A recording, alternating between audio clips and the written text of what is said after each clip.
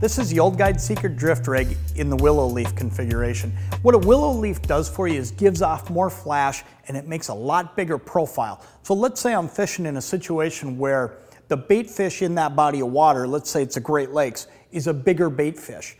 That's when I'm gonna to want to pull out this product and use the willow leaf because it's gonna give a lot bigger profile, a lot more flash, and give off more vibration.